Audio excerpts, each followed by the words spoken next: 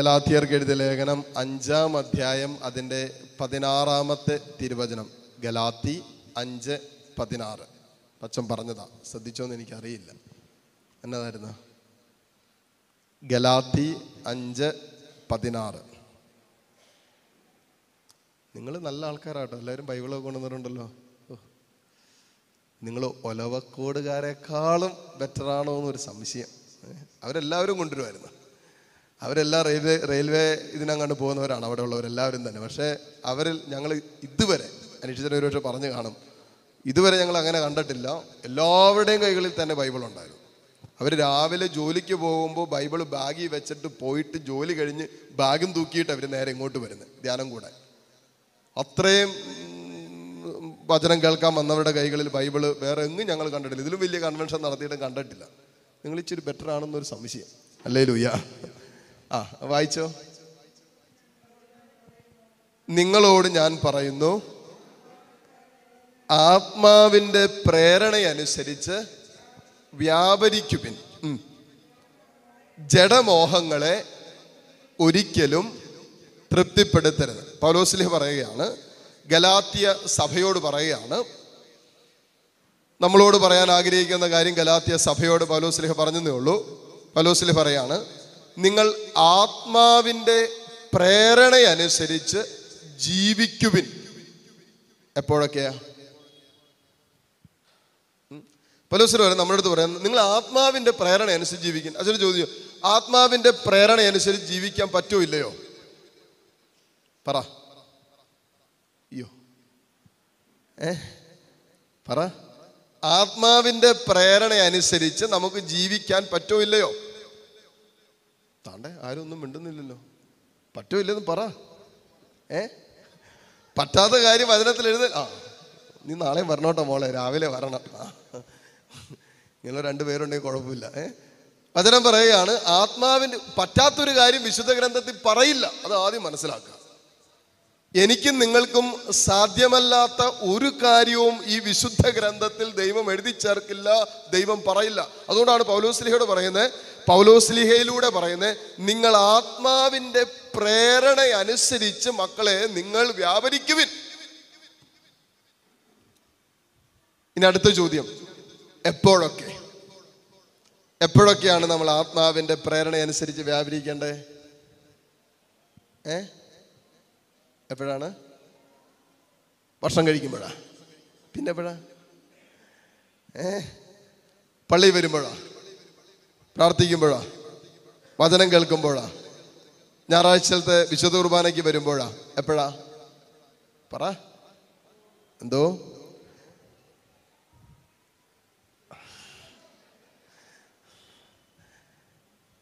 വചനം പറയുന്നു പ്രിയപ്പെട്ടവരെ ആത്മാവിന്റെ പ്രേരണയനുസരിച്ച് എല്ലായ്പ്പോഴും വ്യാപരിക്കുവിൻ.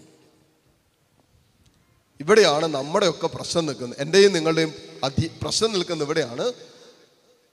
ചില ദിവസങ്ങളിൽ ആത്മാവിന്റെ പ്രേരണയനുസരിച്ച് ഭയങ്കരമായിട്ട് അങ്ങോട്ട് വ്യാപരിക്കും. അയ്യോ ഇന്ന് എന്താണെന്ന് അറിയില്ല അച്ഛാ ഒരിക്കലും ഇല്ലാത്തൊരു ബലമുണ്ട്. ഇന്ന് എല്ലാ ദിവസത്തെക്കാളും കൂടുതൽ ഇന്ന് എനിക്ക് പ്രാർത്ഥിക്കാൻ പറ്റി. ഇന്ന് ഈ പ്രശ്നമൊക്കെ കണ്ടിട്ട് വലിയ കുഴപ്പമൊന്നുമില്ല അതിനൊക്കെ നടുവിലൊക്കെ ഇങ്ങനെ പിടിച്ചു നിൽക്കാൻ പറ്റി. ചില ദിവസങ്ങളിൽ ആത്മാവിന്റെ പ്രേരണ അനുസരിച്ച് ശക്തമായിട്ട് നമ്മൾ വ്യാപരിക്കും.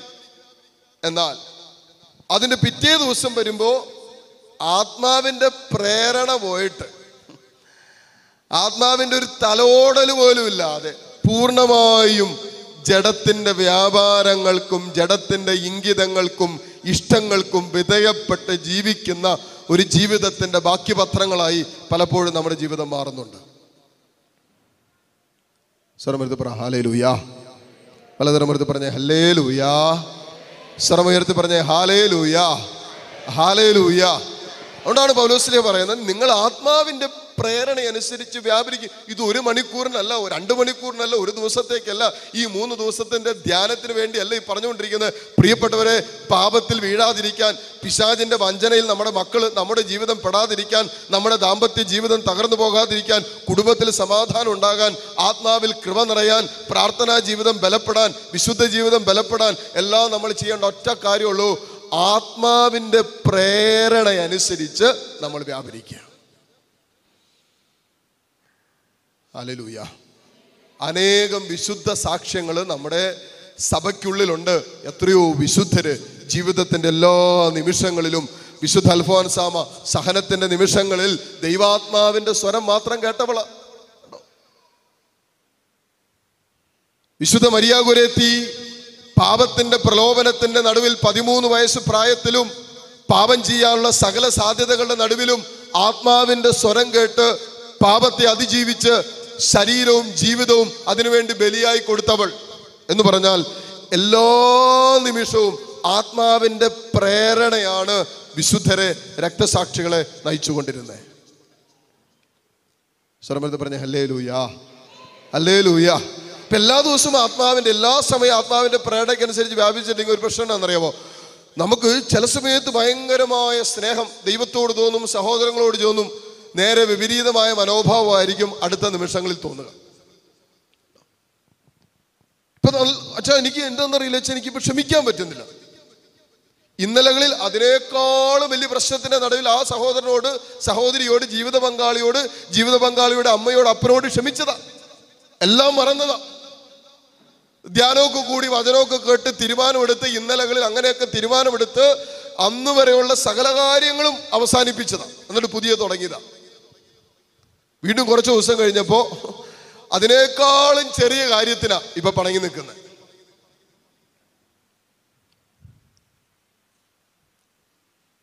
ഹാലലൂയ അതുകൊണ്ട് പൗലോസിനെ പറയുന്നത് ശ്രദ്ധിക്കണം. നമ്മുടെ ആത്മീയ ജീവിതത്തെ പ്രാർത്ഥനാ ജീവിതത്തെ ബലപ്പെടുത്താൻ ആഗ്രഹിക്കുന്നുണ്ടെങ്കിൽ കുടുംബത്തിൽ സമാധാനവും സ്വസ്ഥതയും ആഗ്രഹിക്കുന്നുണ്ടെങ്കിൽ പ്രിയപ്പെട്ടവരെ ചെയ്യേണ്ട ഒരൊറ്റ കാര്യമുള്ളൂ. ഒരാളെങ്കിലും ഞാൻ എപ്പോഴും പറയാറുള്ള കാര്യമാണ് ഒരാളെങ്കിലും നമ്മുടെ കുടുംബത്തിൽ ആത്മാവിന്റെ പ്രേരണയനുസരിച്ച് പരിശുദ്ധാത്മാവിന് വിധേയപ്പെട്ട് ജീവിക്കുന്ന ഒരു ദൈവ പൈതലെങ്കിലും കുടുംബത്തിലുണ്ടാകണം. ഇല്ലെങ്കിൽ എങ്ങനെ കുടുംബം ദൈവാത്മാവിന്റെ സ്വരം കേൾക്കും? എങ്ങനെ നിങ്ങളുടെ കുടുംബത്തിന് ദൈവത്തെക്കുറിച്ചുള്ള ദൈവീകമായ പദ്ധതികൾ മനസ്സിലാക്കാൻ പറ്റും? പരിശുദ്ധാത്മാവിന്റെ പ്രേരണയും ദൈവിക ജ്ഞാനവും ഇല്ലാതെ എങ്ങനെ നീ ദൈവഹിതം അറിയും? കുടുംബമായിട്ടിരുന്ന് ചർച്ച ചെയ്തുകൊണ്ടിരിക്കുക. ഒരു തീരുമാനമെടുക്കണം. ഇത് ചർച്ചയ്ക്ക് ശേഷമുള്ള തീരുമാനമോ? ഇത് ദൈവഹിതമാണോ എന്ന് എങ്ങനെ അറിയും? എല്ലാവരുടെയും പ്രശ്നം അതല്ലേ. ഫോൺ വിളിക്കുന്ന സകലമായ ആൾക്കാരും ചോദിക്കുന്നു ചോദ്യം ഇതാ അച്ഛാ ഞാൻ ഐ എൽ ടി എസ് അഞ്ച് പ്രാവശ്യം എഴുതി തോറ്റുപോയി. അച്ഛനൊന്ന് പ്രാർത്ഥിച്ചിട്ട് പറയാവോ? ഇത് ദൈവഹിതമാണോ? ഇത് തുടരണോ? അതോ നിർത്തിയിട്ട് വേറെ വല്ലതിനും പോണോ? അതുകൊണ്ടാണ് ജ്ഞാനത്തിന്റെ പുസ്തകം ഒൻപതാം അധ്യായം അതിന്റെ പതിനേഴാമത്തെ വചനത്തിൽ എഴുതി വെച്ചിട്ടുണ്ട്. ദൈവമേ അങ്ങ് സ്വർഗത്തിൽ നിന്നും ഉന്നതത്തിൽ നിന്നും ജ്ഞാനത്തെയും അങ്ങയുടെ പരിശുദ്ധാത്മാവിനെയും നൽകിയില്ലെങ്കിൽ എങ്ങനെ ഞങ്ങൾ നിന്റെ ഹിതമറിയും? ഞങ്ങൾ എങ്ങനെ ദൈവമേ നിന്റെ ഹിതമറിയും? ഈ നിമിഷം ഈ മണിക്കൂറിൽ എന്നെക്കുറിച്ച് എന്റെ കുടുംബത്തെക്കുറിച്ച് എന്റെ മക്കളെക്കുറിച്ച് എന്റെ ഭാവിയെക്കുറിച്ച് എന്റെ നാളെയെക്കുറിച്ച് എന്റെ ആത്മീയ ജീവിതത്തെക്കുറിച്ച് എന്റെ വിശുദ്ധ ജീവിതത്തെക്കുറിച്ച് എന്റെ പ്രാർത്ഥനാ ജീവിതത്തെക്കുറിച്ചുള്ള ഹിതം ദൈവമേ ഞാൻ എങ്ങനെ അറിയും? സ്വർഗത്തിൽ നിന്നും നിന്റെ പരിശുദ്ധാത്മാവിനെയും ജ്ഞാനത്തെയും നീ നൽകിയില്ലെങ്കിൽ ദൈവമേ നിന്റെ ഹിതം എങ്ങനെ അറിയും? ഹലേ ലൂയ സ്വരമെടുത്ത് പറ. ഹലേ ലൂയ ഹല്ലേ ലൂയ ഈ കുടുംബത്തിൽ ചിലപ്പോൾ അഞ്ചു പേരുണ്ടെങ്കിൽ നാലു പേരും ജഡത്തിന്റെ പ്രേരണ അനുസരിച്ച് തന്നെയായിരിക്കും വ്യാപരിക്കുന്നത്. പോട്ടെ. നമ്മൾ അവരെ കുറ്റപ്പെടുത്താൻ പോകരുത്. ജീവിതത്തിന്റെ വ്യത്യസ്തമായ സാഹചര്യങ്ങളും അനുഭവങ്ങളുമാണ് ജഡത്തിന്റെ പ്രേരണയ്ക്ക് വശംവതരാകാൻ ചിലരെ പ്രേരിപ്പിക്കുന്നത്. അതുകൊണ്ട് നമ്മൾ അവരെ കുറ്റപ്പെടുത്തരുത്. മറിച്ച് അവർക്ക് വേണ്ടി നമ്മൾ പ്രാർത്ഥിക്കണം. ഒന്ന്. രണ്ട്. നമ്മൾ ആത്മാവിന്റെ പ്രേരണ അനുസരിച്ച് വ്യാപരിക്കുന്നവരായി ആദ്യം മാറണം. അത് വളരെ പ്രധാനപ്പെട്ട ഹാലലൂയ ഇതെങ്ങനെയെന്നറിയാവോ? പരിശുദ്ധാത്മാവ് നമ്മളെ നിയന്ത്രിക്കാൻ തുടങ്ങുമ്പോൾ നിങ്ങൾ ശ്രദ്ധിച്ചോ? ദൈവത്തിന്റെ ആത്മാവ് നമ്മളെ നിയന്ത്രിക്കാൻ തുടങ്ങുമ്പോൾ പ്രിയപ്പെട്ടവർ പിന്നെ വൈകാരികതകൾക്കപ്പുറം നിൽക്കുന്ന ഒരു ആത്മീയ ശാന്തതയുള്ള മനുഷ്യരായി നമ്മൾ മാറാൻ തുടങ്ങും. അപ്പൊ കുടുംബത്തിൽ ഒരു ഇഷ്യൂ വരുമ്പോൾ ശാന്തതയോടെ ആ പ്രശ്നത്തെ അഭിമുഖീകരിക്കും. വീട്ടിലൊരു അസ്വസ്ഥ ഉണ്ടാകുമ്പോൾ വളരെ ശാന്തമായിട്ട് ആ അസ്വസ്ഥ അതിജീവിക്കും. മക്കളുടെ കാര്യവുമായി ബന്ധപ്പെട്ട് ഒരു പ്രശ്നം വരുമ്പോൾ അവരുടെ ഭാവിയെക്കുറിച്ചുള്ള ചില ആലോചനകൾ വരുമ്പോൾ അവർ വട്ടവട്ടിരുന്ന് വളരെ ശാന്തമായിട്ടിരുന്ന് വളരെ പ്രാർത്ഥിച്ച് ധ്യാനിച്ച് ദൈവത്തോട് ആലോചന ചെയ്ത് ആ പ്രശ്നത്തെ പരിഹരിക്കും.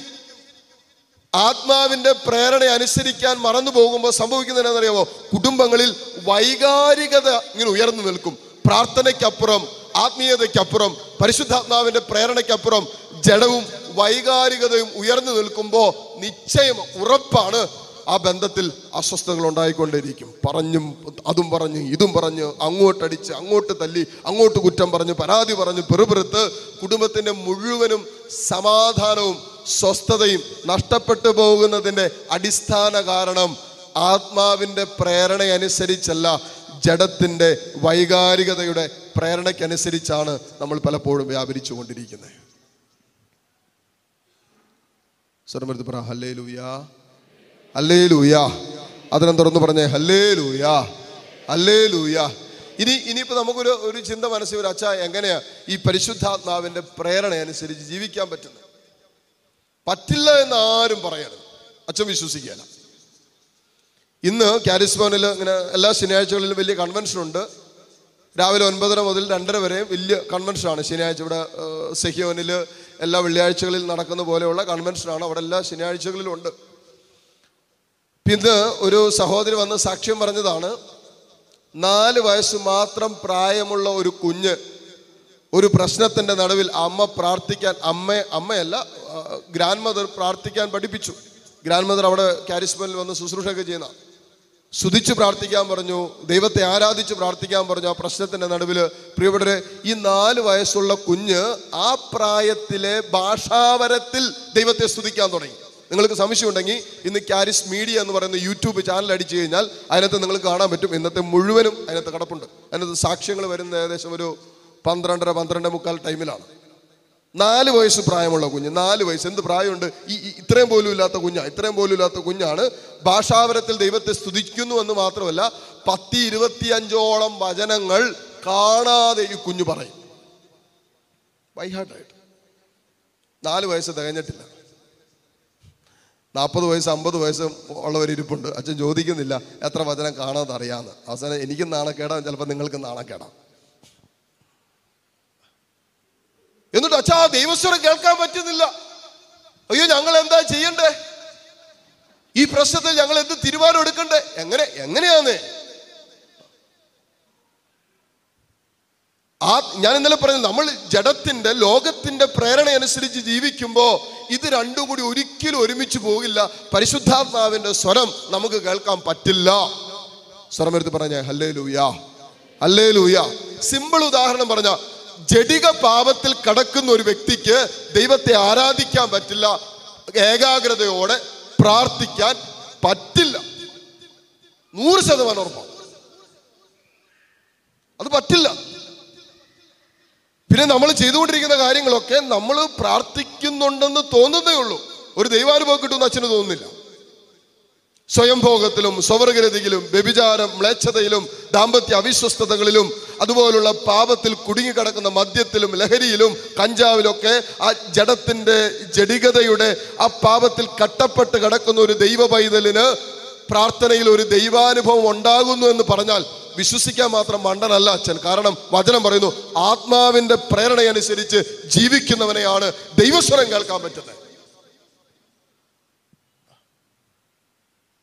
ഹാലലൂയ അതുകൊണ്ട് ചില ചില ഇല്ലേ പിള്ളേരൊക്കെ വിളിച്ചു നോക്കിയേ. ഞായറാഴ്ചത്തെ കുർബാനയ്ക്ക് പോലും പോകാൻ താല്പര്യമില്ല പിള്ളേർക്ക്. ഞായറാഴ്ചത്തെ കുർബാനയ്ക്ക് പോലും. വിളിക്കണം. എട്ട് മണിക്കാലത്തെ കുർബാനയാണെങ്കിൽ ആറു മണി മുതലേ. എടാ എഴുന്നേക്കടാ. എടാ എഴുന്നേക്കടി. എടി എഴുന്നേറ്റ് പോടി. പത്ത് വട്ടം വിളിച്ചാൽ ഇതൊന്നും അതിനിടയിൽ നിന്ന് ഇറങ്ങില്ല ആകെ കുർബാനയ്ക്ക് പോകുന്നത് ഞായറാഴ്ച. ആകെ കുർബാനയ്ക്ക് പോകുന്നത് ആഴ്ചയിൽ ഒരു ദിവസം ഞായറാഴ്ച. അതിനു പോലും ഒരു താല്പര്യമില്ലാതെയാണ് നമ്മുടെ മക്കൾ പോകുന്നത്. അതിനൊറ്റ കാരണമേ ഉള്ളൂ എവിടെയോ ആത്മാവിന്റെ പ്രേരണയനുസരിച്ച് വ്യാപരിക്കാൻ നമ്മുടെ മക്കൾക്കോ നമുക്കോ പറ്റാതെ പോകുന്നത് കൊണ്ടാണ് ആത്മീയ ജീവിതം ഭാരമുള്ളതായി വിശുദ്ധ ജീവിതം പ്രാർത്ഥനാ ജീവിതം ഭാരമുള്ളതായി മാറുന്നത്.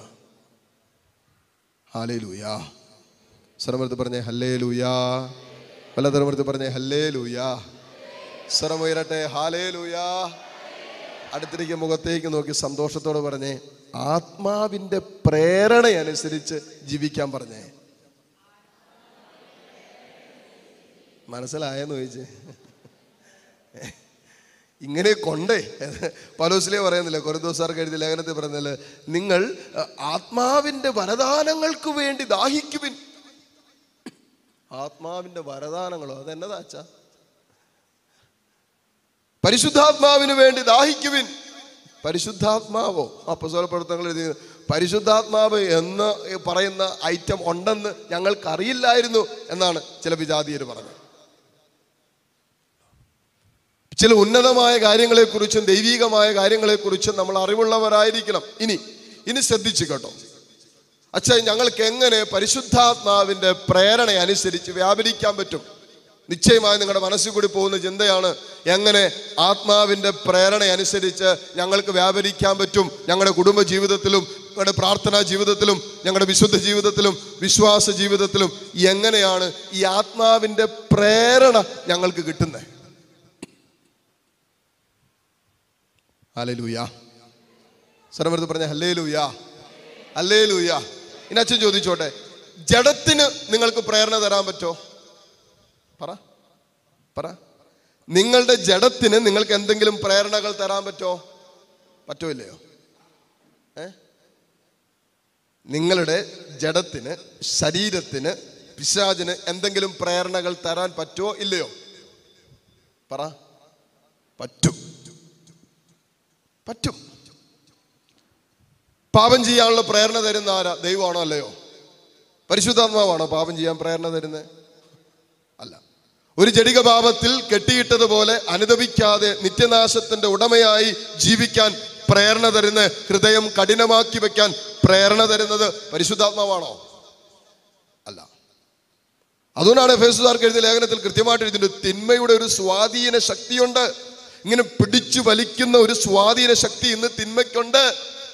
പാപത്തിൽ കെട്ടിയിടാൻ അശുദ്ധിയിൽ കെട്ടിയിടാൻ വൈകൃതങ്ങൾ ജഡിക പാപത്തിന്റെ വൈകൃതങ്ങളിൽ കെട്ടിയിടാൻ കാരിസ്മയിൽ വലിയ യുവജന കൂട്ടായ്മയുണ്ട് ഒത്തിരി യുവജനങ്ങളുണ്ട്. അനേകം പിള്ളേർ വന്ന് പങ്കുവച്ചിട്ടുള്ള കാര്യമാണ്. ഇപ്പോൾ ഒരു നല്ല വിശുദ്ധ ജീവിതം നയിക്കാൻ ആഗ്രഹിക്കുന്നവർ അങ്ങനെ നയിക്കുന്ന ഒത്തിരി പിള്ളേരുണ്ട്. പിള്ളേർ പറഞ്ഞു അച്ഛാ എന്താണെന്നറിയില്ല അച്ഛാ ചില പാപങ്ങളിൽ ഇങ്ങനെ കെട്ടിയിട്ടതുപോലെ കിടക്കുക എത്ര ശ്രമിച്ചിട്ടും എത്ര ആഗ്രഹിച്ചിട്ടും പുറത്തു വരാൻ പറ്റണില്ലെന്നേ.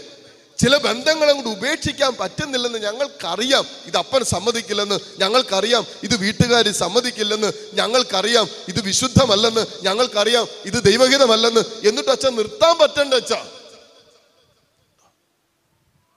അച്ഛ കണ്ണുകളെ നിയന്ത്രിക്കാൻ പറ്റുന്നില്ല അച്ഛോ. മൊബൈൽ എടുത്ത അപ്പ പാപം ചെയ്യും. മൊബൈൽ കൈകൊണ്ട് തൊട്ടാ പാപം ചെയ്യും. പാപം ചെയ്തിട്ട് ഈ സാധനം താഴെ വെക്കൂ. സ്വകാര്യതയിൽ സ്വകാര്യ പാപങ്ങൾ ചെയ്തുകൊണ്ടിരിക്കുക. ഉപേക്ഷിക്കണമെന്നുണ്ട് നിർത്തണമെന്നുണ്ട്. ഇത് വിശുദ്ധിക്കും ദാമ്പത്യ വിശ്വസ്തതയ്ക്കും ചേരാത്തതാണെന്ന് അറിയാം ഈ ഫോൺ കോൾ ബന്ധങ്ങളും അല്ലാത്തതുമായ ബന്ധങ്ങളും. പക്ഷേ അച്ഛൻ നിർത്താൻ പറ്റണില്ല. സ്വരമർത്തി പറഞ്ഞ ഹല്ലേ ലൂയാ ഹല്ലേ ലൂയാ അപ്പൊ തിന്മയ്ക്കൊരു പ്രേരണ തരാൻ നമുക്ക് പറ്റും. തിന്മയ്ക്ക് നമ്മളെ തിന്മയായിട്ടുള്ളതിലേക്ക് പ്രേരണ തരാൻ പറ്റും. പിശാചിനും ജഡത്തിനും ലോകത്തിനും ലോകത്തിന്റെതായ ജഡത്തിന്റെതായ തിന്മയായിട്ടുള്ള പ്രേരണകൾ നിരന്തരം നിരന്തരം പരിശുദ്ധാത്മാവിന്റെ പ്രേരണ പോലെ തന്നെ ഇരുപത്തിനാല് മണിക്കൂറും ജഡത്തിന് പ്രേരണകൾ തരാൻ പറ്റും ലോകത്തിന് പ്രേരണകൾ തരാൻ പറ്റും. പിശാദിന് ചില പാപത്തിന്റെ പ്രേരണകൾ പ്രലോഭനങ്ങൾ നിന്റെ ജീവിതത്തിൽ തരാൻ പറ്റുമെന്ന് നീ തിരിച്ചറിയണം. അങ്ങനെ തിരിച്ചറിയാൻ പറ്റിയ ഒരു കാര്യം കൂടി മനസ്സിലാക്കാൻ പറ്റും. പരിശുദ്ധാത്മാവിനും നമ്മുടെ ജീവിതത്തിൽ പ്രേരണകൾ നിരന്തരം തരാൻ പറ്റും. സ്വരമെടുത്ത് പറ ആമേൻ. ഉറക്കെ പറഞ്ഞേ ആമേൻ. ആമേൻ. അപ്പൊ പിശാചിന് പ്രേരണ തരാൻ പറ്റുമെങ്കിൽ അശുദ്ധാത്മാവിന് പ്രേരണ തരാൻ പറ്റുമെങ്കിൽ പരിശുദ്ധാത്മാവിന് പ്രേരണ തരാൻ പറ്റും. പ്രിയപ്പെട്ടവരെ ഇന്ന് വിശുദ്ധ ജീവിതം നയിക്കുന്ന എല്ലാ ദൈവമക്കളും ഈ ആത്മാവിന്റെ പ്രേരണയനുസരിച്ച് ജീവിക്കാൻ കൊതിക്കുന്ന ആഗ്രഹിക്കുന്ന അതിനുവേണ്ടി ജീവിതത്തിന്റെ തീരുമാനങ്ങൾ എടുക്കുന്ന മക്കളാണ്. ഇതൊരു സാധ്യത. ഇതൊരു ഓപ്ഷനാണ്. മറ്റൊരു സാധ്യതയുണ്ട്. നമുക്ക് ഏത് വേണമെങ്കിലും എടുക്കാം. ദൈവാത്മാവിന്റെ പ്രേരണയനുസരിച്ചോ ലോകത്തിന്റെ അരൂപി ജഡത്തിൻ പറയുന്നത് പോലെയോ ലോകം പറയുന്നത് പോലെയോ പിശാദിന്റെ പ്രേരണയ്ക്ക് അനുസരിച്ചോ എനിക്ക് ജീവിക്കാം. ദൈവം ദാനമായി തന്ന ജീവിതം ദൈവം ഇടപെടാൻ പോകുന്നില്ല. സ്വാതന്ത്ര്യം തന്നിട്ടുണ്ട്. അപ്പൊ ആത്മാവിന്റെ പ്രേരണയോ ദുരാത്മാവിന്റെ പ്രേരണയോ അനുസരിച്ച് എനിക്ക് ജീവിക്കാം. ഇത് രണ്ടും എന്റെ മുമ്പിലുള്ള സാധ്യതയാണ്. പക്ഷെ പരിശുദ്ധാത്മാവിൽ ദൈവം ആഗ്രഹിക്കുന്നത് ആത്മാവിന്റെ പ്രേരണയനുസരിച്ച് നിരന്തരം വ്യാപരിക്കുക എന്നുള്ളതാണ് ഇനി അടുത്ത ചോദ്യം ഞാൻ നേരത്തെ പറഞ്ഞത് അവസാനിപ്പിക്കുകയാണ്. എങ്ങനെയാച്ചോ ഈ പരിശുദ്ധാത്മാവിന്റെ ദൈവത്തിന്റെ പ്രേരണ ദൈവാത്മാവിന്റെ പ്രേരണ ഞങ്ങൾക്ക് സ്വീകരിക്കാൻ പറ്റുന്നേ? സ്ഥലമെടുത്ത് പറ ഹല്ലേലൂയ. ഹാലേലൂയ ഹാലേ ലൂയ പരിശുദ്ധാത്മാവിന്റെ സ്വരം കേൾക്കണോ? പറ. ആത്മാവ് നമ്മളോട് സംസാരിക്കുന്നത് കേൾക്കണോ? വേണോ? വേണമെങ്കിൽ പറയുള്ളൂ. വേണോ വേണ്ടയോ? വേണമെങ്കിൽ അതിന് നിങ്ങളുടെ പ്രാർത്ഥനാ ജീവിതം നിങ്ങളുടെ കുടുംബ ജീവിതം ഒക്കെ ബലപ്പെട്ട് കിട്ടാൻ ഈ ആത്മാവിന്റെ പ്രേരണയനുസരിച്ച് വ്യാപരിക്കാൻ നിങ്ങൾ ചെയ്യേണ്ട ഒരൊറ്റ കാര്യമുള്ളൂ ഒരൊറ്റ കാര്യമുള്ളൂ ഒരൊറ്റ കാര്യമുള്ളൂ. Spend quality time with the Lord വേറെ ഒന്നും ചെയ്യേണ്ട നിങ്ങൾ. വലിയ ഭാരിച്ച പരിപാടിക്കൊന്നും പോകണ്ട തലകുത്തി ഒന്നും വേണ്ട. മണിക്കൂറുകൾ നിന്ന് ഈ പറയുന്ന പോലെ ചിലവർ കർണക്കൊന്തയൊക്കെ ചെല്ലുന്ന കണ്ടു കഴിഞ്ഞാൽ നമ്മൾ വിചാരിക്കും കർത്താവ് ഇപ്പോൾ കയറ് കെട്ടി താഴേക്ക് എന്നവർ പൊക്കി മുകളിലേക്ക് കൊണ്ടുപോകുന്നു. അതുപോലെ പ്രാർത്ഥിക്കുന്നവരെ കണ്ടു പക്ഷെ അവരുടെ ജീവിതമായിട്ട് ഒരു ബന്ധം ഉണ്ടാകുകയല്ല എന്താ പിന്നെ ചെല്ലുന്നതും അവരുടെ പ്രാർത്ഥനാ ജീവിതവും അവരുടെ യഥാർത്ഥ ആത്മീയ ജീവിതവും തമ്മിൽ ഒരു ബന്ധം ഉണ്ടാകാത്തവരെ കണ്ടിട്ടുണ്ടോ അച്ഛൻ? ഇത് രണ്ടും ചേരാതെ പോകുന്നവരുണ്ട്. ഇവിടെ നമ്മൾ ദൈവത്തിന് ഒരു ക്വാളിറ്റി ടൈം നമ്മൾ കൊടുക്കാൻ എല്ലാ ദിവസവും ഒരു ക്വാളിറ്റി ടൈം ദൈവത്തിന് കൊടുക്കാൻ നമ്മൾ തയ്യാറായാൽ പ്രിയപ്പെട്ടവരെ ദൈവത്തിന്റെ ആത്മാവിന്റെ സ്പന്ദനങ്ങൾ അറിയാൻ നിന്റെ ആത്മാവിൽ സാധ്യമാണ്. ഹാലലൂയ സ്വരമർത്തി പറഞ്ഞ ഹല്ലേലൂയ നിന്റെ കുടുംബജീവിതം മെച്ചപ്പെടണോ? വേറെ ഒന്നും ചെയ്യണ്ട. നിന്റെ ദാമ്പത്യ ജീവിതം മെച്ചപ്പെടണോ? നിന്റെ മക്കളുമായിട്ടുള്ള ബന്ധം ശരിയാകണോ ഒന്നും ചെയ്യണ്ട. ചെയ്യേണ്ട ഒറ്റ കാര്യമുള്ളൂ. Spend quality time with your spouse നിന്റെ ജീവിത പങ്കാളിയുമായിട്ട് ഏറ്റവും ബെസ്റ്റ് ടൈം നല്ല സമയം ചെലവഴിക്ക്. നോക്ക്. ഒത്തിരി സഹോദരിമാരുടെ സഹോദരന്മാരുടെ വേദന എന്നാണെന്നറിയോ വിവാഹം കഴിഞ്ഞിട്ട് അച്ഛാ എന്റെ ജീവിത പങ്കാളിക്ക് എനിക്ക് തരാൻ മാത്രം സമയമില്ല. ബാക്കി എല്ലാത്തിനും സമയമുണ്ട്.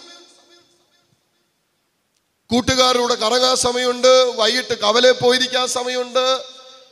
സകലമാന കലാപരിപാടികൾക്ക് സമയമുണ്ട്. എന്റെ കൂടെ ഒരു അഞ്ച് മിനിറ്റ് ഇരിക്കാൻ എന്റെ ജീവിത പങ്കാളിക്ക് സമയമില്ല.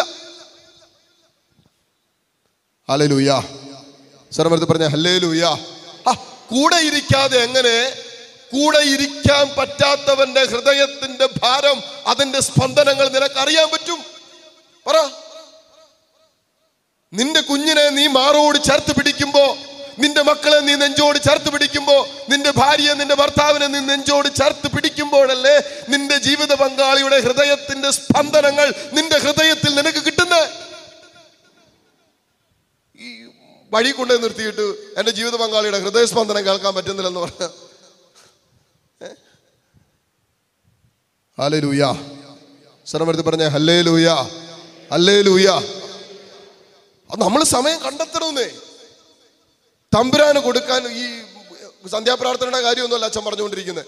എല്ലാവരോടും ഒരുമിച്ചുള്ള പ്രാർത്ഥനയുടെ കാര്യമൊന്നുമല്ല ഞാൻ പറയുന്നത്. നമ്മൾ ഒരു വ്യക്തിയുടെ ഒരു വ്യക്തിയുടെ കൂടെ ആയിരിക്കാൻ നല്ല സമയം ചെലവഴിക്കുമ്പോൾ പ്രിയപ്പെട്ടവരെ അവരെ ശ്രവിക്കാനാണ് നമ്മൾ സമയം കൊടുക്കേണ്ടത്. പറയാനല്ല. ഞാൻ ഓർക്കുകയാണ് കാരിസ്തോനിൽ എനിക്കൊന്നൊരു അറുപത് അറുപത്തഞ്ച് വയസ്സ് പ്രായമെങ്കിൽ അതിനപ്പുറം ഉണ്ടെങ്കിലേ ഉള്ളൂ. ഒരു സഹോദരൻ പുള്ളി അമേരിക്കയിൽ സെറ്റിലാണ് ഭാര്യ അവിടെയാണ്. വിവാഹം കഴിഞ്ഞ് ഭാര്യയാണ് ആദ്യം പോയത് ജോലിയായിട്ട് നഴ്സാണ്. അത് ഞാൻ പുള്ളി പോയത് പുള്ളിക്ക് അവിടെ പോയി പുള്ളിക്ക് അവിടെ ജോലി കിട്ടി. അങ്ങനെ രണ്ടുപേരും വർഷങ്ങളോളം എനിക്ക് തോന്നുന്നൊരു നാൽപ്പത്തി രണ്ടോ നാൽപ്പത്തി മൂന്ന് വർഷം കണ്ടിട്ട് അവിടെ തന്നെയാണ് ഈ വിവാഹം കഴിഞ്ഞപ്പോൾ തന്നെ രണ്ടുപേരും കൂടി അങ്ങോട്ട് പോയി. സഹോദരി വിവാഹം കഴിയുന്നതിന് മുമ്പ് അവിടെയായിരുന്നു ഈ സഹോദരി. അങ്ങനെ എല്ലാം കൂടി അവിടെ സെറ്റിലായി. ഈ അറുപത് എഴുപത് വയസ്സ് പ്രായം തോന്നുന്ന ഈ അപ്പച്ചൻ കാരിസ്മോനിൽ ഒരു ദിവസം വന്നു. എല്ലാ വെള്ളിയാഴ്ചകളിലും അവിടെ കൗൺസിലിംഗ് ഉണ്ട്. അങ്ങനെ കൗൺസിലിങ്ങിന് ഇരിക്കുന്ന ഒരു ദിവസമാണ്. അപ്പച്ചനും വന്ന് അച്ഛന്മാർ ആരെങ്കിലും കാണാൻ പറ്റുമോ എന്ന് ചോദിച്ചു. അപ്പം പറഞ്ഞത് അവിടെ അച്ഛന്മാർ അവിടെ ഇരിപ്പുണ്ട്. ടോക്കൺ എടുത്ത് ക്യൂവിലിരുന്ന അച്ഛന്മാരെ കാണാമെന്ന് പറഞ്ഞു. അങ്ങനെ ഈ പ്രായമുള്ള അപ്പച്ചനും വന്ന് ടോക്കൺ എടുത്ത് ക്യൂവിലിരുന്നു കാണാൻ വേണ്ടി മുറിയിലേക്ക് അച്ഛന്റെ അപ്പച്ചന്റെ ഊഴമായപ്പോൾ വന്നു.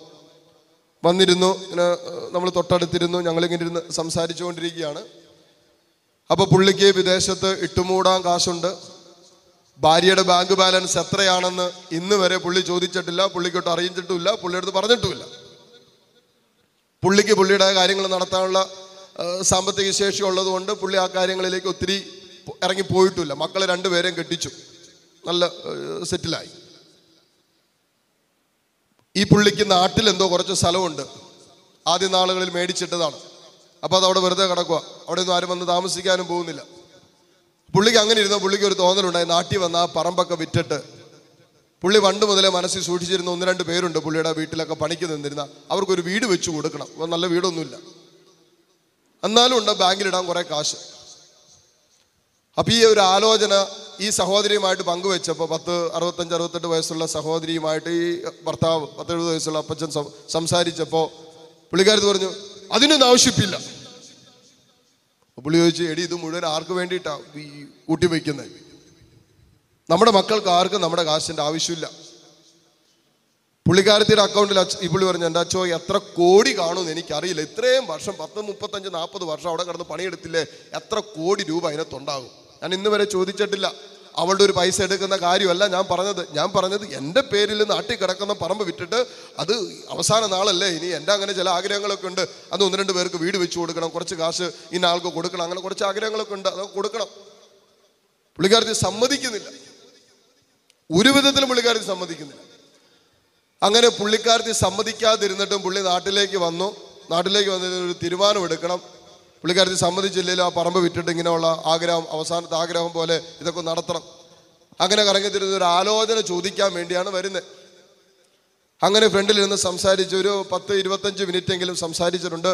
സംസാരിക്കുന്നതിനിടയ്ക്ക് എഴുപത് വയസ്സുള്ള ഈ അപ്പച്ചൻ പറഞ്ഞൊരു കാര്യം എന്റെ മനസ്സിൽ ഇപ്പോഴും കിടന്നു അച്ഛാ അച്ഛനറിയാവോ നമ്മളിപ്പോൾ ഇരുന്ന് ഒരു പത്തിരുപത് മിനിറ്റ് ആയിട്ട് എത്ര അടുത്തിരുന്ന സംസാരിക്കുന്നത് എന്റെ കയ്യത്തും ദൂരത്തല്ല അച്ഛൻ ഇരിക്കുന്നത് കഴിഞ്ഞ് നാൽപ്പത് നാൽപ്പത്തഞ്ച് വർഷമുള്ള ദാമ്പത്യ ജീവിതത്തിൽ ഇന്ന് വരെ ഒരു അഞ്ച് മിനിറ്റ് അച്ഛ ഞങ്ങളിങ്ങനെ സ്പെൻഡ് ചെയ്തിട്ടില്ല. എന്നെ ശ്രവിക്കാൻ എന്റെ ജീവിത പങ്കാളി ഇന്ന് വരെ കഴിഞ്ഞ നാൽപ്പത് നാൽപ്പത്തി അഞ്ച് വർഷത്തെ ദാമ്പത്യ ജീവിതത്തിൽ എന്റെ ജീവിത പങ്കാളി എന്നെ ശ്രവിക്കാൻ അച്ഛൻ ഇത്രയും നേരം ഒന്നും പറയാതെ ഞാൻ പറഞ്ഞത് മുഴുവൻ കേട്ടില്ലേ? പത്തിരുപത് മിനിറ്റ് അടച്ച് എന്റെ ജീവിത പങ്കാളി നാൽപ്പത് വർഷം കൂടെ കടന്ന എന്റെ ജീവിത പങ്കാളി ഒരു അഞ്ച് മിനിറ്റ് നാൽപ്പത് വർഷത്തിനിടയ്ക്ക് ഒരു അഞ്ച് മിനിറ്റ് അച്ഛ അച്ഛൻ ഇരുന്ന് തന്നതുപോലെ എന്റെ കൂടെ ഇരുന്നിട്ടില്ല.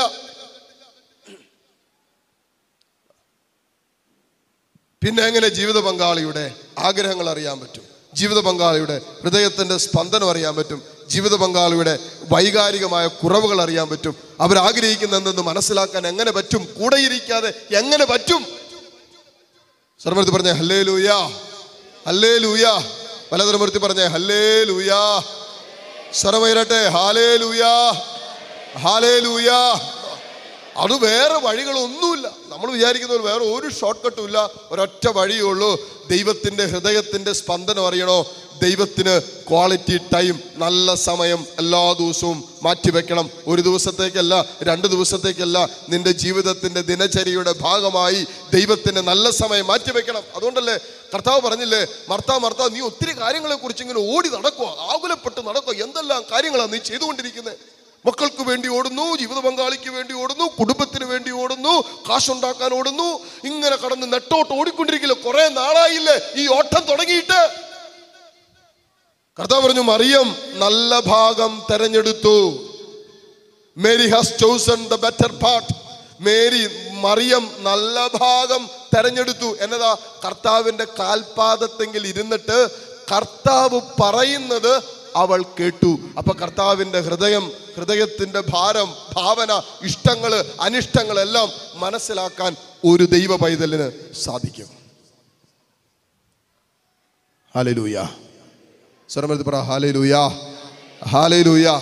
ഇന്ന് നമ്മുടെ പിള്ളേരൊക്കെ ഒത്തിരി പിള്ളേര് മാതാപിതാക്കൾ അറിയാതെയും അറിഞ്ഞൊക്കെ വഴിതെറ്റി പോകുന്നുണ്ട്.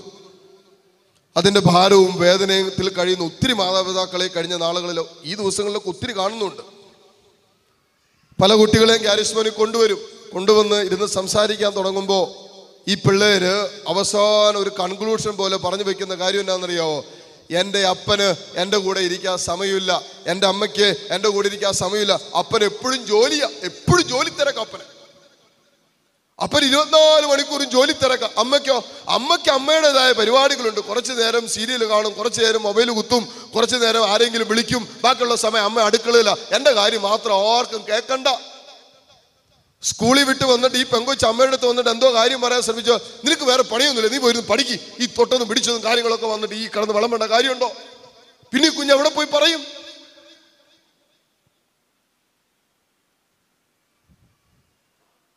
ഒരു ജീവിത പങ്കാളിക്ക് തന്റെ വേദനകളും തന്റെ വിഷമങ്ങളും തന്റെ നൊമ്പരങ്ങളും പങ്കുവെക്കാൻ പിന്നെ എവിടെയാ ഒരിടമുള്ള?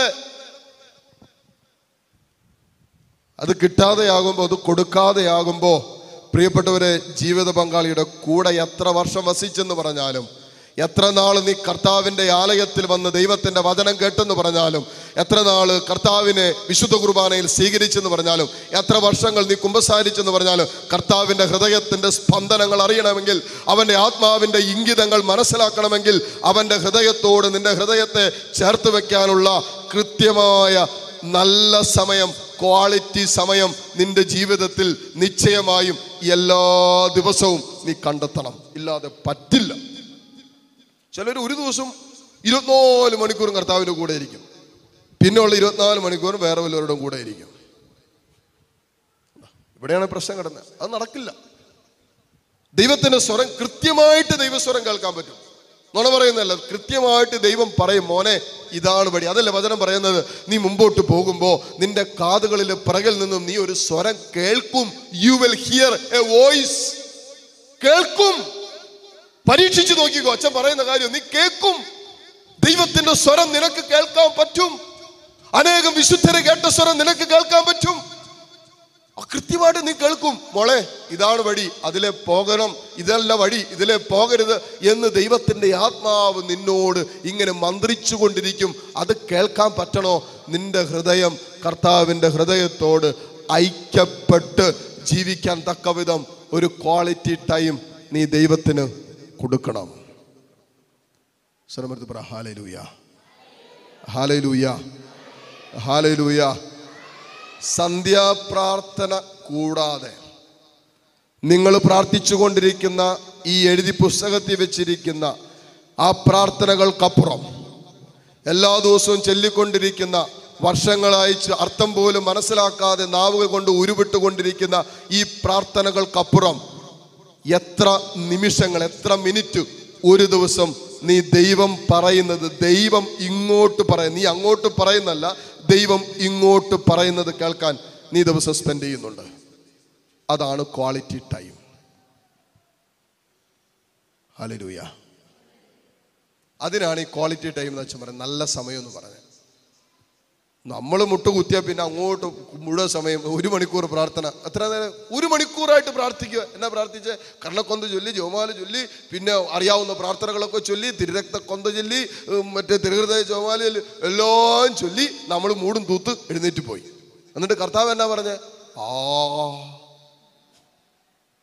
അത് കേൾക്കാൻ ആർക്കാ സമയമുള്ളേ? ഞാൻ പറഞ്ഞൊക്കെ ദൈവം കേട്ടിട്ടുണ്ടോ? ആ. നമ്മൾ പുള്ളി കർത്താവ് നമ്മൾ അങ്ങോട്ട് പറയുന്നതിന് ഇടയ്ക്ക് കർത്താവ് ഇങ്ങോട്ട് പറയുന്നുണ്ട് കുറെ കാര്യങ്ങൾ. ഇതൊന്നും നമുക്ക് കേൾക്കണ്ട. ഇതൊന്നും നമുക്ക് കേൾക്കണ്ട. നമ്മൾ പറയാനുള്ളത് മുഴുവനും കേട്ട് കഴിയുമ്പോൾ നമ്മുടെ പ്രാർത്ഥന തീർന്നു. ഇതാണ് നമ്മുടെ പ്രാർത്ഥന. അതല്ല പ്രിയപ്പെട്ടവർ ക്വാളിറ്റി ടൈം എന്ന് പറയുന്നത് അതല്ല. നീ ആരുടെയൊക്കെ കൂടെ വസിക്കുന്നുണ്ടോ അവരുടെ മനസ്സിന്റെ വേദനയും അവരുടെ ജീവിതത്തിന്റെ ഭാരവും അവരുടെ ഹൃദയത്തിന്റെ നൊമ്പരങ്ങളും അവർ പറയാതെ തന്നെ നിനക്കറിയാനും അനുഭവിക്കാനും പറ്റുന്ന ഒരു ഹൃദയത്തിന്റെ ഭാവമാണ് ഈ പറയുന്ന പരിശുദ്ധാത്മാവിന്റെ പ്രേരണ. അപ്പോൾ ദൈവത്തിന്റെ ആത്മാവ് നിന്റെ ആത്മാവിനോട് ചേർന്ന് ഇങ്ങനെ പ്രേരണകൾ തരും. മോളെ അങ്ങോട്ട് പോകണ്ട. നീ പാപം ചെയ്യും. അങ്ങോട്ട് പോകണ്ട. ആ കൂട്ടുകെട്ട് നിനക്ക് ചേർന്നതല്ല. വിട്ടേര്. പറയും. നീ അവിടെ പോയി ഇരിക്കരുത്. വീഴാനുള്ള സാധ്യത കൂടുതലാ. ആത്മാവ് പറയും. സ്വരമെടുത്ത് പറഞ്ഞ ഹല്ലേ ലൂയ ഹല്ലേ ലൂയ പരിശുദ്ധാത്മാവ് പറയുന്നേ നീ ക്ഷമിക്ക് നീ വിട്ടുകൊടുക്ക്. വേണ്ട നീ അങ്ങോട്ട് ക്ഷമിക്ക്. ഈ ദൈവ ദൈവത്തിന് കൃത്യമായ ഒരു ക്വാളിറ്റി ടൈം കൊടുക്കാത്തവൻ എന്നാ ഇത് പറയോ ദൈവം പറയുന്നത് ഇതുവരെ കേട്ടിട്ടില്ല. അതുകൊണ്ട് പറയും അയ്യോ എനിക്ക് ക്ഷമിക്കാൻ പറ്റില്ല എനിക്ക് എളിമപ്പെടാൻ പറ്റില്ല എനിക്ക് വിട്ടുകൊടുക്കാൻ പറ്റില്ല. അവരല്ലേ കേസ് കൊടുത്തേ അവരല്ലേ പറഞ്ഞ് അവരല്ലേ ചെയ്തേ അവരല്ലേ ഞാൻ ചിന്തിക്കാത്ത കാര്യം പറഞ്ഞ് അവർ ക്ഷമിക്കട്ടെ എന്നിട്ട് ഞാൻ ക്ഷമിക്കാം.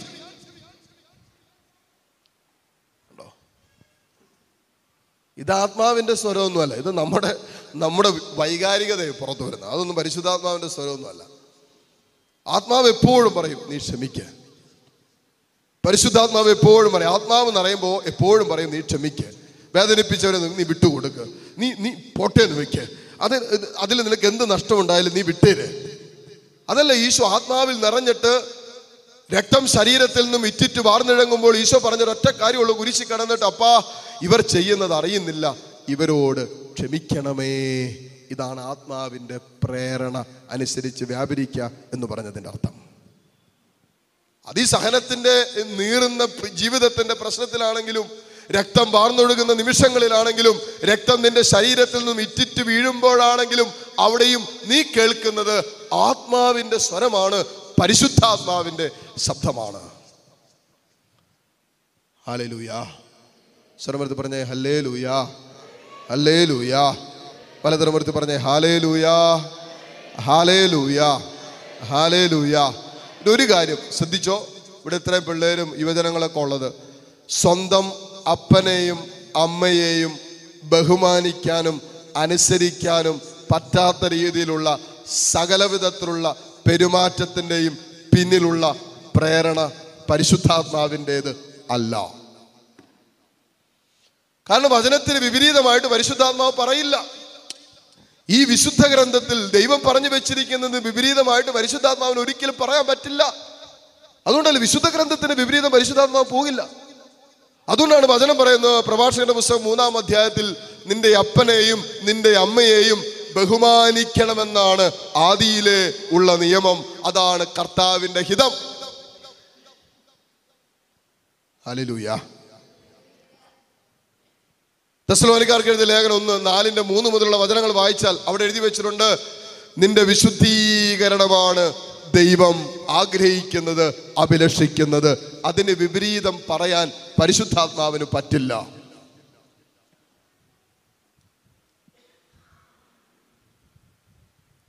ഹാലലൂയ.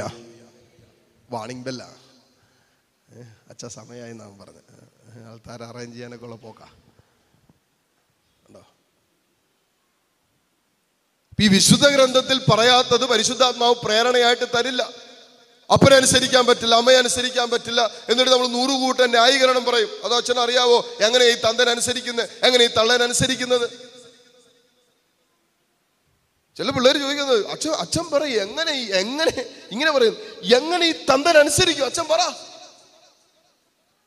അപ്പൊ ചോദിച്ചു നിനക്ക് എന്നെ അനുസരിച്ചാൽ എന്നാ കുഴപ്പം? ഒന്നിലും നിന്റെ അപ്പനല്ലേ? നിനക്ക് ജന്മം നൽകിയ അപ്പനല്ലേ? നിനക്ക് ജന്മം നൽകിയ അമ്മയല്ലേ? അപ്പൊ അവർ പറയും ഇതൊക്കെ എവിടെ പോയി പറഞ്ഞാൽ മതി ഇന്ന്? ആ അവിടെ ഇരുന്ന് ഈ പറയുന്നേ. ആലേ ലൂയ ആ സ്വന്തം അപ്പനെ അമ്മയെയും ബഹുമാനിക്കാനും ആദരിക്കാനും അനുസരിക്കാൻ പറ്റാത്ത ഒരു ദൈവ പൈതലിന് എങ്ങനെ ദൈവാത്മാവിന്റെ സ്വരം കേൾക്കാൻ പറ്റും? ഒരിക്കലും പറ്റില്ല. കാരണം വചനത്തിന് വിപരീതമായി പരിശുദ്ധാത്മാവ് ഒരിക്കലും ചലിക്കില്ല. സ്വന്തം അപ്പൻ അത് രോഗിയായിക്കൊള്ളട്ടെ പ്രായമായിക്കൊള്ളട്ടെ അത് ജീവിത പങ്കാളിയുടെ അപ്പനോ അമ്മയായിക്കൊള്ളട്ടെ ആരുമായിക്കൊള്ളട്ടെ സ്വന്തം മാതാപിതാക്കളെ സ്നേഹിക്കാനും ബഹുമാനിക്കാനും പറ്റാത്ത ഒരു ആത്മീയ മനുഷ്യന് പരിശുദ്ധാത്മാവിന്റെ പ്രേരണ സ്വീകരിക്കുക അസാധ്യമാണ്. പറ്റില്ല. നിങ്ങൾ മുട്ടുകുത്തിക്കോ മണിക്കൂറുകൾ പ്രാർത്ഥിച്ചോ അതൊന്നും ഇവിടെ വിഷയമല്ല പ്രിയപ്പെട്ടവരെ. തമ്പുരാൻ നോക്ക് നമ്മുടെ ആത്മാവിലേക്ക് ഹൃദയം പരിശോധിക്കുന്നവനാണ് ദൈവം. എന്റെ അപ്പനോട് ക്ഷമിച്ചിട്ട് വർഷങ്ങളായി അപ്പനോട് മിണ്ടിയിട്ട് നാളായി.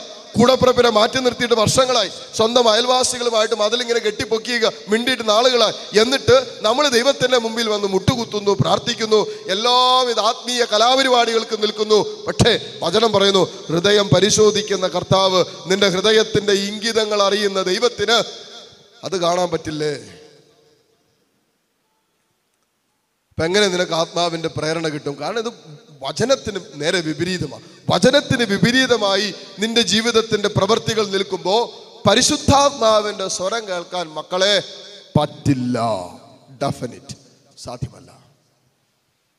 നമ്മൾ ആദ്യം നമ്മുടെ ജീവിതത്തെ പരിശോധിക്കണം. അത് വചനത്തിന് അധിഷ്ഠിതമായാണോ? എന്റെ ജീവിതം ഇപ്പോൾ പോയിക്കൊണ്ടിരിക്കുന്നത് എന്റെ വിശുദ്ധ ജീവിതം വചനത്തിന് ചേർന്നാണോ? എന്റെ പ്രാർത്ഥനാ ജീവിതം വചനത്തിന് ചേർന്നാണോ? എന്റെ ബന്ധങ്ങൾ ദൈവവചനത്തിന് ചേർന്നാണോ? എന്റെ ബിസിനസ് മേഖലകൾ ദൈവവചനം പറയുന്നത് പോലെയാണോ? എന്റെ എന്റെ ദാമ്പത്യ ജീവിതം ദൈവവചനത്തിന് ചേർന്നാണോ? എന്റെ മാതൃകാ ജീവിതം ദൈവവചനത്തിന് ചേർന്നാണോ എന്ന് നമ്മൾ പരിശോധിക്കുമ്പോൾ അത് വചനത്തിന് ചേർന്നതാണെങ്കിൽ പിന്നെ നീ തമ്പുരാന്റെ കൂടെ ഇരുന്നാൽ നിന്റെ കാതുകളിൽ കൃത്യതയോടെ ദൈവത്തിന്റെ ആത്മാവ് സംസാരിക്കും സംസാരിക്കും. വചനം പറയുന്നു നമ്മുടെ ദൈവം സംസാരിക്കുന്ന ദൈവമാണ്. ഹല്ലേലൂയാ. പണ്ട് പൂർവപിതാക്കന്മാരിലൂടെ സംസാരിച്ച ദൈവം അവസാന കാലങ്ങളിൽ സ്വന്തം പുത്രനിലൂടെ സംസാരിച്ചു. ഇപ്പോൾ അവന്റെ പരിശുദ്ധാത്മാവിലൂടെ അതേ ദൈവം നമ്മളോട് സംസാരിച്ചു കൊണ്ടിരിക്കുന്നു. ദൈവം സംസാരിക്കുമ്പോൾ കേൾക്കണമെങ്കിൽ നമ്മളിൽ ദൈവാത്മാവിന്റെ പ്രേരണ അനുസരിച്ച് വ്യാപരിക്കുന്നവരായി നമ്മൾ മാറണം. ജഡത്തിന്റെ വ്യാപാരങ്ങളും ജഡത്തിന്റെ പ്രേരണയ്ക്ക് മാത്രം വശംവദനായി ജീവിക്കുന്ന ഒരു ദൈവ പൈതലിൽ ഒരിക്കലും ഒരാത്മീയ മനുഷ്യനാകാനോ ആത്മാവിന്റെ പ്രേരണ അനുസരിച്ച് വിശുദ്ധിക്ക് പ്രതിഫലമുണ്ടെന്ന് മനസ്സിലാക്കി വിശുദ്ധിക്ക് വേണ്ടി ജീവിതം മാറ്റിവെക്കാൻ വിശുദ്ധ ജീവിതത്തിന് വേണ്ടി ആഗ്രഹിക്കാൻ വിശുദ്ധ ജീവിതത്തിന് വേണ്ടി വില കൊടുക്കാൻ പറ്റില്ല.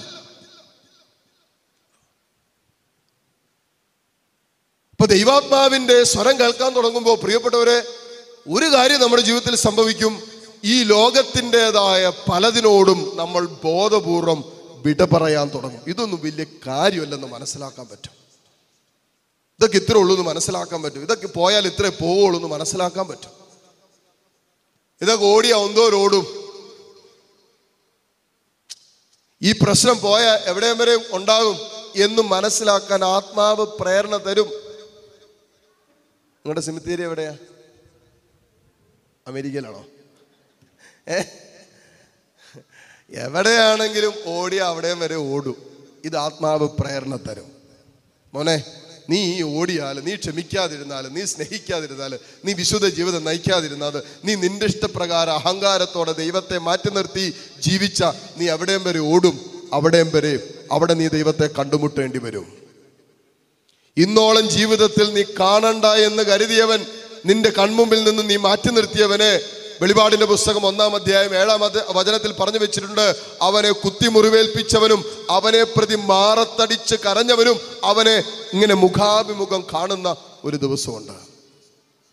ഇത് ഈ ആത്മാവാണ് ഈ പ്രേരണ തരുന്നത്. കാരണം എന്താ? ആത്മാവ് എന്നും ജീവിക്കുന്നതായതുകൊണ്ട് ആത്മാവ് ഈ ലോക ജീവിതത്തിന്റെ മാത്രമല്ല ഈ ലോക ജീവിതത്തിന് അപ്പുറമുള്ള കാര്യങ്ങളെ കുറിച്ചും പരിശുദ്ധാത്മാവ് നിന്റെ കാതുകളിൽ സംസാരിക്കും.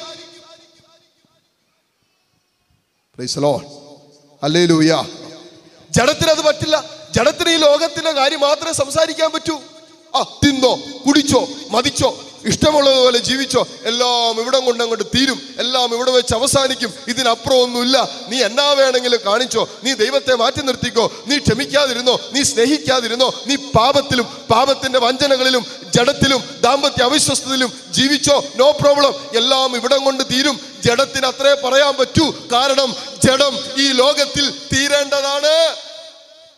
പക്ഷെ ആത്മാവ് അതിനപ്പുറം സംസാരിക്കും. കാരണം ആത്മാവിന് നാശമില്ലാത്തത് കൊണ്ട് ആത്മാവ് മരിക്കാത്തത് കൊണ്ട് ആത്മാവ് ഈ ലോക ജീവിതത്തിനപ്പുറം കടന്നു പോകുന്നത് കൊണ്ട് വരാനിരിക്കുന്ന ജീവിതത്തിന്റെ കാര്യങ്ങൾ പോലും വെളിപ്പെടുത്തി തരുന്നത് പരിശുദ്ധാത്മാവാണെന്ന് ഒന്ന് കൊറിന്തോസ് രണ്ടിന്റെ പന്ത്രണ്ട് മുതലുള്ള വചനങ്ങളിൽ കൃത്യമായി ദൈവത്തിന്റെ ആത്മാവ് എഴുതി വെച്ചിട്ടുണ്ട്. ഈ ലോക ജീവിതത്തിനപ്പുറം ഒരു ജീവിതം ഉണ്ടെന്നും നിത്യജീവനുണ്ടെന്നും സ്വർഗമുണ്ടെന്നും നരകമുണ്ടെന്നൊക്കെ പറഞ്ഞ് നമ്മുടെ ബോധമനസ്സിലേക്ക് വെളിപ്പെടുത്തി തരുന്നത് ദൈവത്തിന്റെ പരിശുദ്ധാത്മാവാണ്. അതിനാത്മാവിന്റെ സ്വരം കേൾക്കുന്ന ദൈവമക്കളായി നമ്മൾ രൂപപ്പെടണമെങ്കിൽ ദൈവത്തോട് ഐക്യപ്പെട്ട് ദൈവത്തെ കേൾക്കാൻ പ്രിയപ്പെട്ടവരെ ഒരു ക്വാളിറ്റി ടൈം ജീവിതത്തിന്റെ എല്ലാ ദിവസവും നമ്മൾ കണ്ടെത്തണം. പ്രാർത്ഥിക്കാനല്ല അവനെ കേൾക്കാൻ. അതാണ് പ്രാർത്ഥന. ദൈവത്തെ ശ്രവിക്കുന്നതാണ് പ്രാർത്ഥന. ശ്രമത്തിൽ പറ ഹാലേലൂയ. അതാണ് പ്രാർത്ഥന. നമ്മൾ ഒത്തിരി ഉരുവിടുന്നതല്ല ദൈവത്തെ ശ്രവിക്കുന്നത്. അതുകൊണ്ടാണ് യേശുവിന്റെ ഗച്ഛമിന്റെ പ്രാർത്ഥന എന്തായിരുന്നു? ആദ്യം ഈശോ പറഞ്ഞു അപ്പാ കഴിയുമെങ്കിൽ ഈ പാനപാത്രം എന്നിൽ നിന്ന് എടുത്തു മാറ്റണേ. സഹിക്കാൻ പറ്റുന്നില്ല എടുക്കാൻ പറ്റുന്നില്ല. അത്രമാത്രം കാരണം ഈശോ പിറ്റേ ദിവസത്തെ കുരിശ് വഹിക്കുന്നതും കാൽവരി കുരിശിൽ മൂന്നാണികളിൽ അവന്റെ കൈകാലുകൾ തറയ്ക്കുന്നതും അതിൽ നിന്ന് രക്തം വാർന്നെഴുകുന്നതും ഈശോ ഇങ്ങനെ ആത്മാവിൽ കണ്ടുകൊണ്ടിരിക്കുക. അതുകൊണ്ട് ഈശോ പറഞ്ഞു എനിക്ക് പറ്റില്ല. ഈ പാനപാത്രം കുടിക്കാൻ പറ്റില്ലല്ലോ. ഇത് കഴിഞ്ഞിട്ട് എല്ലാം ശാന്തമായി. ഒന്നും പിന്നെ ഒരു സ്വരവുമില്ല. ഒന്നുമില്ല. അപ്പന്റെ സ്വരം പോലും അവിടെ ക്ലിയർ ആയിട്ട് കേൾക്കാൻ പറ്റുന്നില്ല. പക്ഷേ കർത്താവ് ശാന്തമായിട്ട് നിന്നിട്ട് ദൈവത്തിന്റെ സ്വരം പിതാവിന്റെ അപ്പന്റെ സ്വരം ആത്മാവിൽ കേൾക്കുകയാണ്.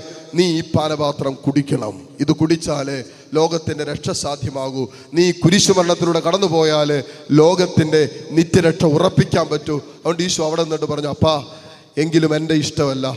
ഇത് നിന്റെ ഇഷ്ടമാണെങ്കിൽ അങ്ങനെ നടക്കട്ടെ. ഹല്ലേലൂയ. തീവ്രവേദനയുടെ ദുഃഖത്തിന്റെ ഒറ്റപ്പെടലിന്റെ തിരസ്കരണത്തിന്റെ അനുഭവത്തിന്റെ നടുവിൽ പ്രിയ ദൈവ പൈതലെ ആത്മാവിന്റെ പ്രേരണയനുസരിച്ച് ജീവിക്കുന്ന ഒരു ദൈവ പൈതലിന് മാത്രമേ ഈ ഗത്സമൻ അനുഭവത്തെ അതിജീവിച്ച് മുന്നോട്ട് പോകാൻ പറ്റൂ. അല്ലെങ്കിൽ അവിടെ വീഴും. അല്ലെങ്കിൽ അവിടെ തളർന്ന് തരിപ്പണമായി പ്രലോഭനം വരുമ്പോൾ പ്രതിസന്ധി വരുമ്പോൾ സഹനം വരുമ്പോൾ ഒറ്റപ്പെട്ടു പോകുമ്പോൾ മാറ്റി നിർത്തപ്പെടുമ്പോൾ കളിയാക്കപ്പെടുമ്പോൾ ആരുമില്ലാത്ത ജീവിതത്തിന്റെ തോന്നലുകൾ ജീവിതത്തിൽ സമ്മാനിക്കപ്പെടുന്ന അനുഭവത്തിന്റെ നടുവിൽ അതിനപ്പുറം പോകാൻ ഒരു ജഡിക മനുഷ്യന് സാധ്യമല്ല എന്നാൽ ഒരു ആത്മീയ മനുഷ്യന് അതിനപ്പുറം ചലിക്കാൻ പറ്റും അതിനപ്പുറം പോകാൻ പറ്റും. അലലൂയ അതാണ് അതുകൊണ്ടാണ് ഒരു ആത്മീയ മനുഷ്യനെ തോൽപ്പിക്കാൻ ലോകത്തിന് പറ്റില്ല. അൽഫോൻസാമയെ ലോകത്തിന് തോൽപ്പിക്കാൻ പറ്റുമോ ചാവറേച്ചനെ ലോകത്തിന് തോൽപ്പിക്കാൻ പറ്റുമോ? മരിയാകുര്യത്തിയെ ലോകത്തിന് തോൽപ്പിക്കാൻ പറ്റുമോ? വിശുദ്ധ അന്തോണീസിനെ ലോകത്തിന് തോൽപ്പിക്കാൻ പറ്റുമോ? വിശുദ്ധ അസീസിയെ ലോകത്തിന് തോൽപ്പിക്കാൻ പറ്റുമോ? പറ്റിയില്ല അത് പറ്റില്ല. കാരണം ലോകത്തിന്റെ മനുഷ്യരല്ല.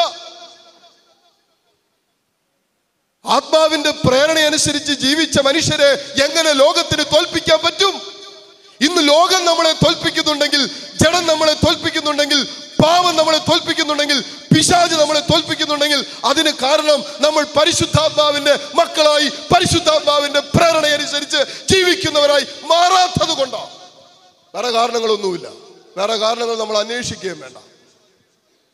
സർബത്ത് പറഞ്ഞ ഹല്ലേ ലൂയാ വലതുറമ്പത്ത് പറഞ്ഞ ഹാലേ ലൂയാ ഹാലേ ലൂയാ അപ്പൊ ഒരു നിമിഷമല്ല. അതുകൊണ്ടാണ് പൗലോസ്വരം നിങ്ങൾ എപ്പോഴും നിരന്തരം ആത്മാവിന്റെ പ്രേരണയനുസരിച്ച് വ്യാപരിക്ക്. ആത്മാവ് പറയുന്നത് കേൾക്ക്. കേൾക്കാൻ ദൈവാത്മാവിനോട് ഐക്യപ്പെട്ട് ഒരു വിശുദ്ധ ജീവിതം നയിക്കണം. ദൈവത്തിന്റെ ഹൃദയത്തോട് നമ്മുടെ ഹൃദയത്തെ ചേർത്ത് വെച്ചിട്ട് അവന്റെ സ്പന്ദനങ്ങൾ അറിയണം. അവൻ പറയുന്നത് കേൾക്കാൻ നിന്റെ ജീവിതത്തിൽ നീ സമയം കണ്ടെത്തുമ്പോൾ ദൈവം നിന്നോട് ഇങ്ങനെ നിരന്തരം സംസാരിക്കാൻ തുടങ്ങും. എന്തു മനോഹരമാണെന്നറിയാവോ പ്രിയപ്പെട്ടവർ ആ ജീവിതം? എന്തൊരു ആനന്ദദായകമാണ് ആ ജീവിതം എന്നറിയാവോ? ഒരു പ്രശ്നവും ലോകത്തിന്റെ ഒന്നും പിന്നെ നമ്മളെ തോപ്പിക്കല. നമ്മൾ എന്തെല്ലാം പ്രശ്നങ്ങളില്ലാതെന്നല്ല പ്രശ്നങ്ങൾ ഇങ്ങനെ അടിച്ചുകൊണ്ടിരിക്കും നമുക്കെതിരെ. നൂറുകൂട്ടം ആ പ്രശ്നങ്ങളുടെ നടുവിലും വളരെ ശാന്തതയോടെ വളരെ സൗമ്യതയും അതിനേക്കാളുപരി ഒരു ആത്മീയ ആനന്ദത്തോടെ ഒരു ദൈവഭയത്തിൽ ജീവിക്കാൻ പറ്റുന്നതിന് കാരണം പ്രിയപ്പെട്ടവരെ ഈ ആത്മാവിന്റെ പ്രേരണ അനുസരിച്ച് അതുകൊണ്ടാണ് സ്തെഫാനോസ് ആത്മാവിന്റെ പ്രേരണ അനുസരിച്ച് വ്യാപരിച്ചപ്പോൾ മരണത്തിന്റെ നിഴലിലും അവൻ ആനന്ദിച്ചു. രക്തം പോവുക. സ്വർഗം കണ്ടു. ഈ ലോക ജീവിതത്തിന് അപ്പുറം കാണാൻ പറ്റി. പരിശുദ്ധാത്മാവ് കാണിച്ചു കൊടുത്തു. മോനെ നീ രക്തസാക്ഷിത്വം വഹിച്ചോ. നീ ഒന്നും പറയണ്ട. നീ എതിർക്കണ്ട. നീ തല്ലണ്ട. നീ കൊട്ടേഷൻ ടീമിന് അയക്കണ്ട. നീ കണ്ടോ? നീ നിത്യമായി വസിക്കാൻ പോകുന്ന ഇടം ഈ ലോക ജീവിതത്തിനപ്പുറം നിനക്കായി നിത്യതയിൽ ഒരുക്കിയിരിക്കുന്ന സ്വർഗീയ ഇടത്തെ സ്വർഗം അവന്റെ മുമ്പിൽ തുറന്നു കൊടുത്തു. ആത്മാവിന്റെ പ്രേരണ അനുസരിച്ച് ജീവിക്കുന്ന ഒരു ദൈവ വൈതലിന്റെ മുമ്പിൽ ഈ ലോകത്തിനപ്പുറമുള്ള കാര്യങ്ങൾ ദൈവം തുറന്നു കൊടുക്കും കാണിച്ചു കൊടുക്കും. അതാണ് ആത്മാവിന്റെ പ്രേരണ അനുസരിച്ച് ജീവിക്കാൻ തുടങ്ങുമ്പോൾ ഒരു ദൈവ പൈതലിൽ സംഭവിക്കുന്നു. ഈ ലോക ജീവിതത്തിന്റെ മാത്രമല്ല പ്രിയപ്പെട്ടവരെ അതിനപ്പുറമുള്ള കാര്യങ്ങൾ കൂടി ദൈവം വെളിപ്പെടുത്തി ഒരാത്മാവിലേക്ക് കൊടുക്കാൻ തുടങ്ങും. അല്ലേ ലൂയ സർവർ പറഞ്ഞേ അല്ലേ ലൂയ അല്ലേ ലൂയ എഴുന്നേറ്റ്